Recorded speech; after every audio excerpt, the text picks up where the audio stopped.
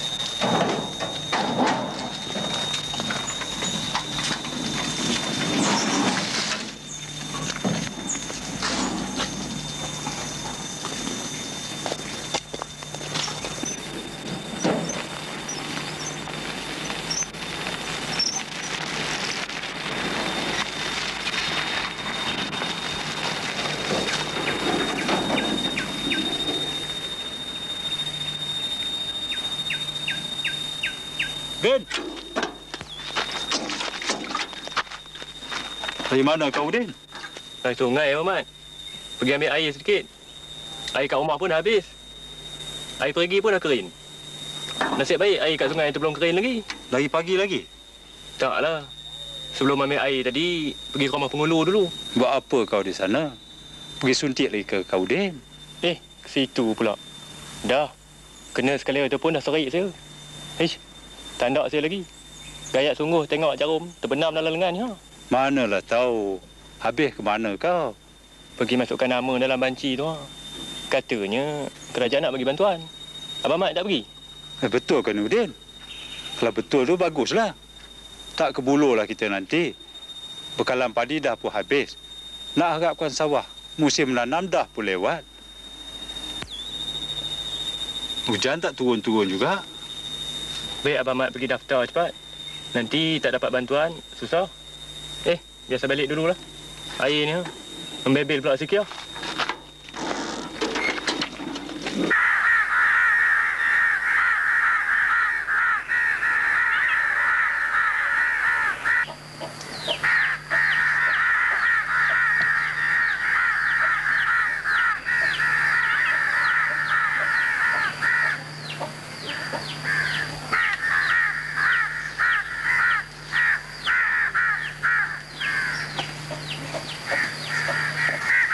Assalamualaikum, Pak. Waalaikumsalam.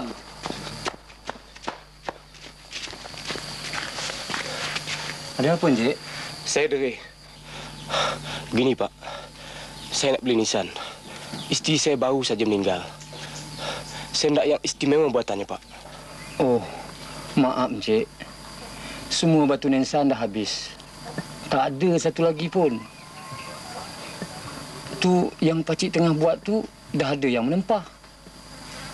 Hai, banyak sangat orang mati sekarang ni. Kami baru kahwin. Tiba-tiba begitu cepat dia meninggalkan saya. Takdir, Encik. Takdir. Maut tak mengenal tua muda. Hai, tak tahulah bila nak reda wabak ni. Yang tu, Pak. Yang tu tak jual.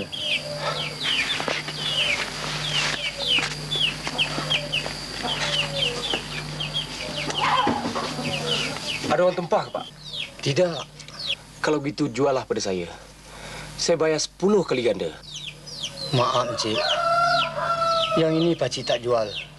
Walaupun ditawarkan dengan harga seratus kali ganda. Yang sepasang tu batu nisan saya, Encik. Ha, yang satu lagi tu saya punya. Pak Cik dan Mak Cik kan masih hidup lagi. Ajar dan maut, siapa tahu. Lebih-lebih lagi sekarang ni. Kami orang susah, Encik. Mendapat rezeki dari kematian orang lain. Jadi sebelum Pak Cik mati, Pak Cik nak melihat sendiri batu nisan yang tegak di atas kubur Pak Cik nanti. Dengan menengok batu nisan tu setiap hari, mengingatkan kami pada mati. Tengoklah, hari-hari ada orang mati. Dah besok, dah lusa, manalah tahu giliran kami.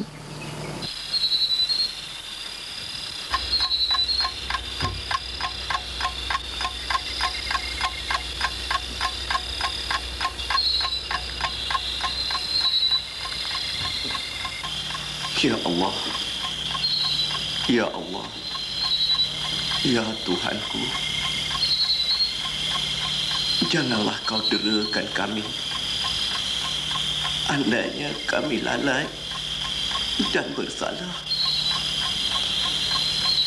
Janganlah kau letakkan atas kami bebanan. Sebagaimana kau letakkan ke atas umat-umat yang terdahulu. Janganlah kau pikulkan kami dengan barang apa yang tak terdaya untuk kami memikulnya. Maafkanlah kami, Ya Allah. Ampunilah dosa kami dan rahmatilah kami. Limpahkanlah atas kami dengan taufik dari nur kebesaranmu.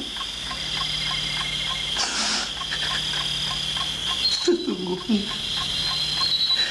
kami hamba-hambamu yang amat lemah lagi hina dan terinaya ya Allah.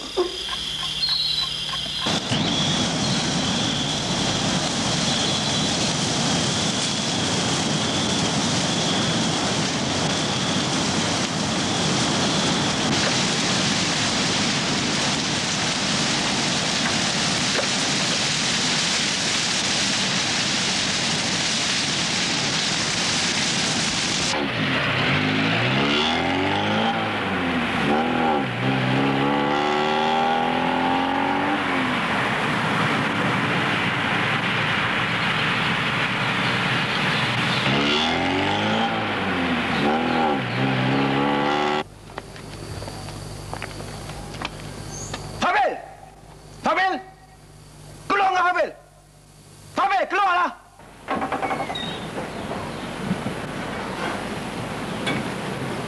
Abang Halil, apa ni? Mana laki kau, ha? Dia tak ada. Bohong! Kau jangan cubalah sembunyikan dia. Suruh dia keluarlah! Betul bang. Dari semalam tak balik-balik. Pejabat agaknya. Ayah ada balik tadi, Mak. Tapi Mak tak ada di rumah. Ayah kata dia nak pergi jumpa Tok. Bang Halil, kenapa ni? Katakan pada laki kau tu. Tak payah dia bakar balai aku lah. Kalau dia nak musnahkan aku, suruh dia datang bakar rumah aku. Lagi senang. Puas hatinya. Ayah juga seorang pejuang. Zaman tu telah berlalu.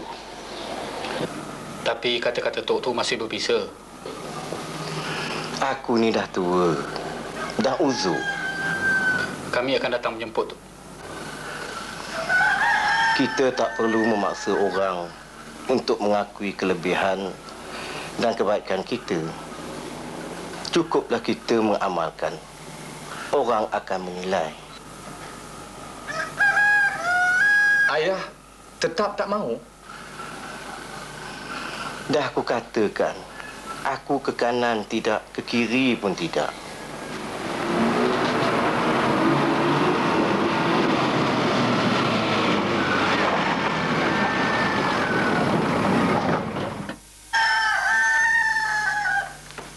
Fabil. Engkau memang kurang hajar, Fabil. Engkau hasut orang kau bakal balai aku, ya? Hei! Jangan tuduh membutuh tuli tahu. Hati busuk. Sekarang kau datang kembali untuk berlindung, ya? Pengecut! Sudah. Ayah jangan masuk campur, ya? Aku memang tak mau masuk campur atas urusan kamu berdua. Tapi aku kesal. Disebabkan kamu berdua orang-orang dalam kampung ni yang sebangsa, seagama dengan kamu berpecah-pecah. Kamu tusuk hati mereka dengan jarum karat. Kamu semai benih perpecahan. Kenapa tak kamu seru mereka supaya berbaik-baik? Kenapa? Kenapa? Kenapa? Ayah.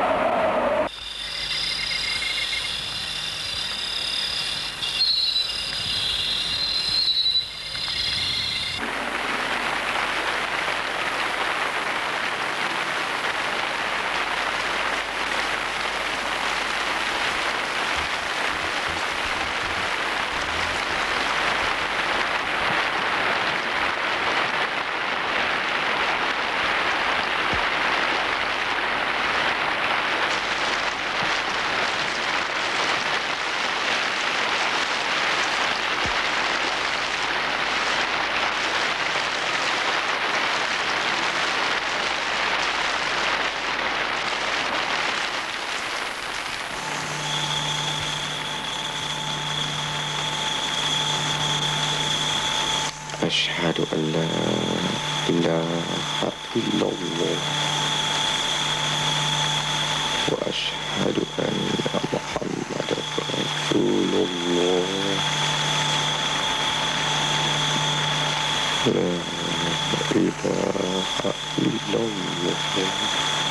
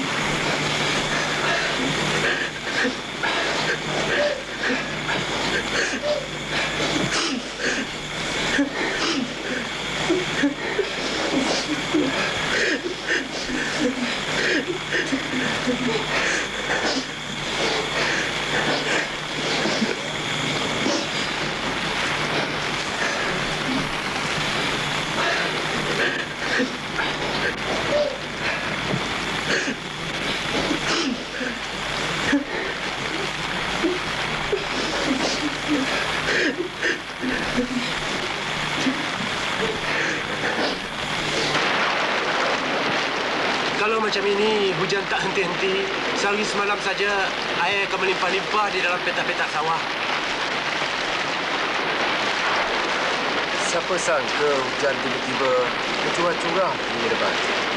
Ha, kuasa Tuhan. Kemarau setahun cukup dengan hujan sehari saja. Tuhan nak uji. Diturunkannya bala. Salah kita sendiri. Berpuak-puak. Sebangsa seagama. Siapa suruh? Baru! Hujan! Eh, Abang ni, apa pula? Baru! Baru! Lekas! Kenapa, Malik? Dia dah tak ada! Siapa? Tok Adam!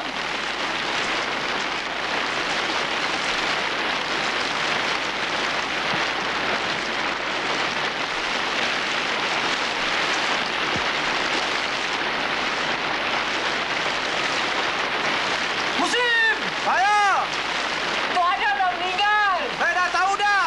Saya dah tahu, Malik!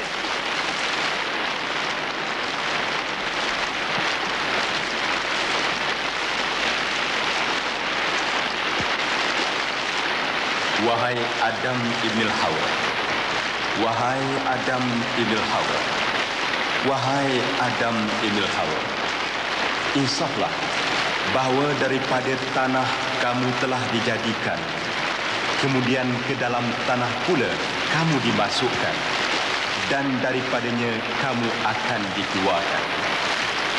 Tuhan menjadikan kamu untuk menunaikan amanah dan kewajipan Maka semasa kamu di dalam tanah menjadi mangsa dan makanan kepada ulat dan cacing yang berkeliaran sehingga berkecai hancur luluh bercerai daging daripada badan. Pada akhirnya kamu akan dibangkitkan daripada tanah perkuburan.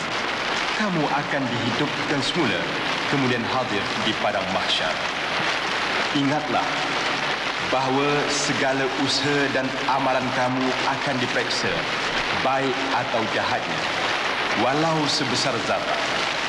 Semuanya akan diberi balasan yang setimpal dan berpadanan. Wahai Adam, mudah-mudahan Tuhan akan mengurniakan kasihan belasnya kepada kamu. Hendaklah kamu sedar bahawa segala nikmat dan kelazatan dunia telah hilang daripada kamu oleh kerana kamu telah memasuki alam barzah dan kamu akan tinggal di sini sehingga hari kiamat.